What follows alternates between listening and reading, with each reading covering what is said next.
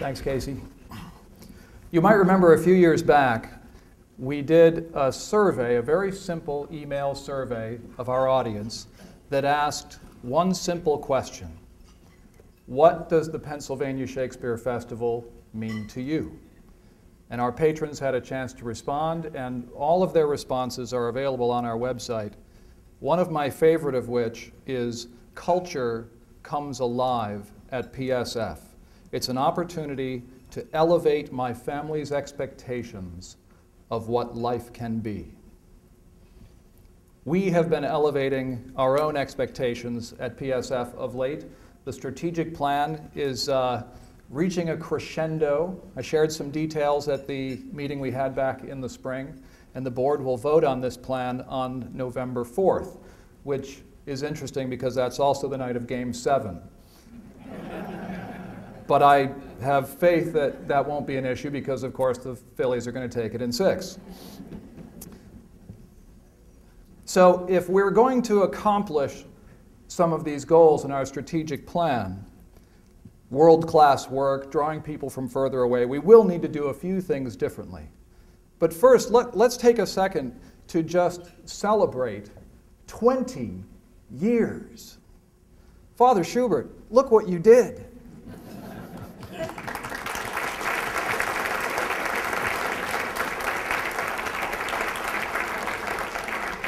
We have so much to celebrate over 100 productions.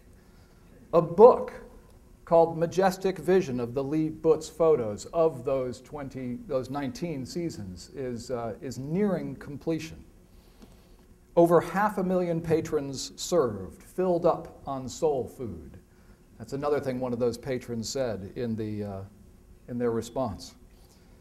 Of course, we celebrate Shakespeare. 23 of Shakespeare's plays have been produced at the Pennsylvania Shakespeare Festival, and this season, the 24th.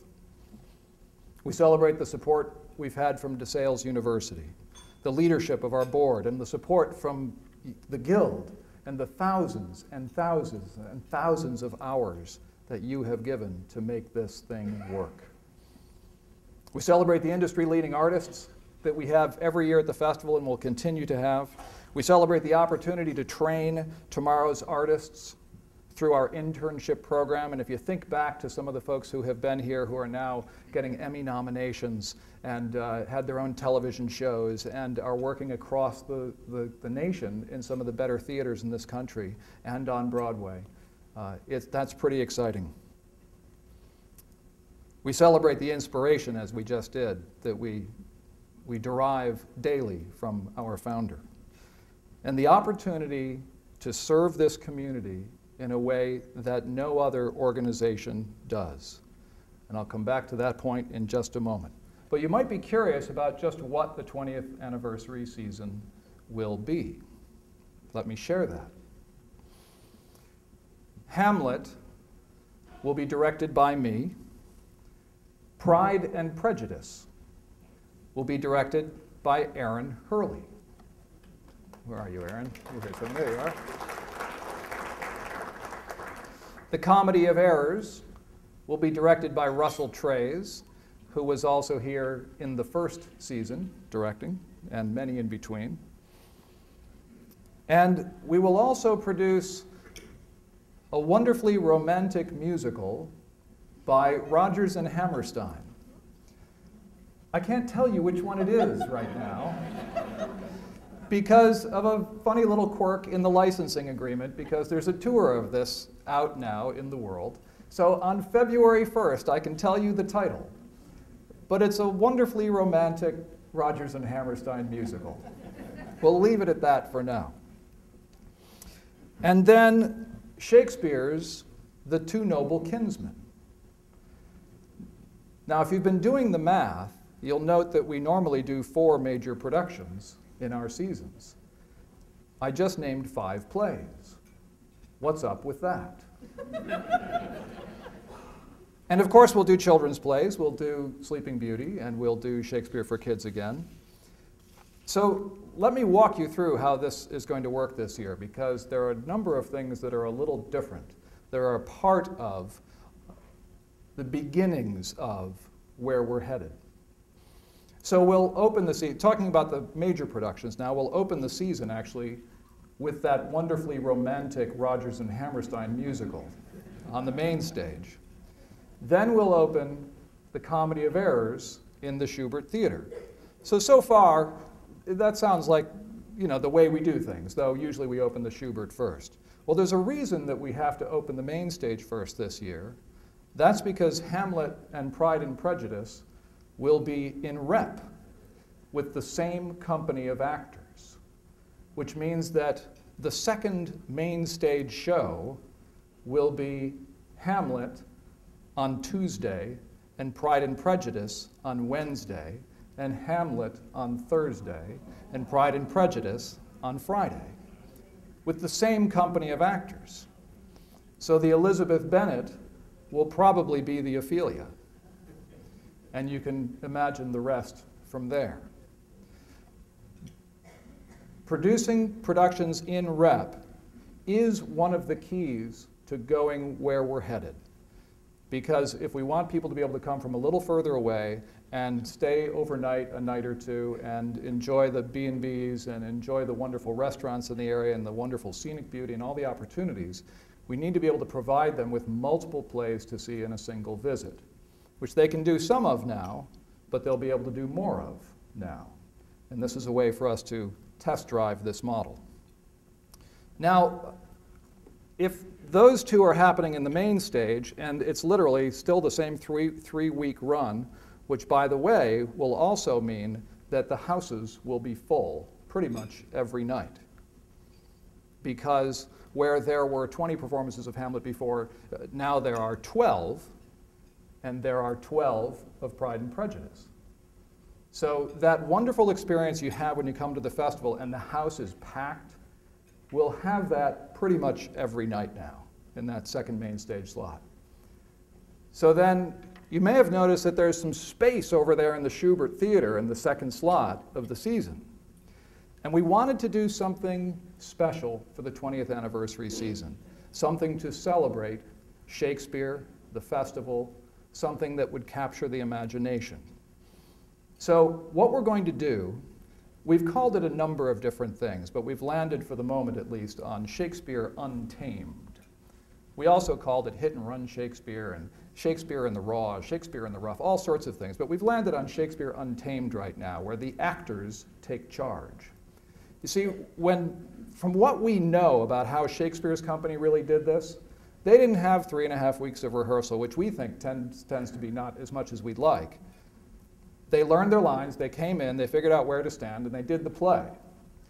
So this company of actors will do it the way Shakespeare's company did it. They'll come in with their lines learned. They'll have two or three days to fight over who gets to stand where. They will wear whatever the heck they want to wear and whatever they can find, which is also the way Shakespeare's company did it, as far as we know.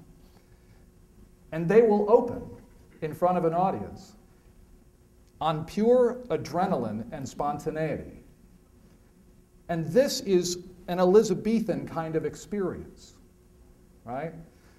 This is an immediate kind of experience. This is only going to run for two weeks. So it's going to be hard to get a ticket to this thing. But there's an excitement and an energy to, do, to, to doing this the way Shakespeare's company did it. One more veil will fall in the interaction between audience and actor. So, an experience with art is an encounter for us, right, between subject and object. And this approach to Shakespeare hopefully will bring us even more directly into relationship with the art object, which is the performance of this play. So that's the season. I borrow from Roger Scruton when I say that when we do this together, the guild, the artists, the staff, the board, the patrons, the producer circle, the donors, we feel an enhanced sense of belonging not only because we are interacting with each other, but because we are interacting, interacting directly with art and with beauty. It's as if our experience of this encounter is that a world that makes room for such things as Shakespeare also makes room for us. So I'll close with a little Hamlet. Hamlet says, I have of late, but wherefore I know not, lost all my mirth. And indeed, it goes so heavily with my disposition that this goodly frame, the earth, seems to me a sterile promontory. This most excellent canopy, the air, look you, this brave o'erhanging firmament, this majestical roof fretted with golden fire. Why, it appears no other thing to me than a foul and pestilent congregation of vapors. What a piece of work is a man! How noble in reason, how infinite in faculty, in form and moving, how express and admirable. In action, how like an angel. In apprehension, how like a god. The beauty of the world, the paragon of animals. And yet, to me, what is this quintessence of dust? Man delights not me. So, in that, Hamlet is having an experience that we all know, which is that we know that the world is an incredibly beautiful place and that humanity is filled with beauty. And yet, that on a daily basis, we fall out of connection with that for one reason or another. We know it's there, and we can't touch it. What you do, what we do together, connects those dots again for an audience. That inspiration that slips from us, that hope, and the irony, the almost mockery of knowing how beautiful the world is, but falling out of touch with it. Doing this, doing art, doing Shakespeare, helps connect those dots again for our patrons.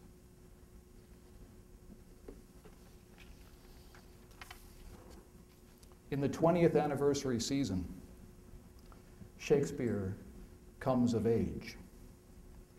This is a majestic vision. The future starts here, and I'm so glad you'll be with us. Thank you.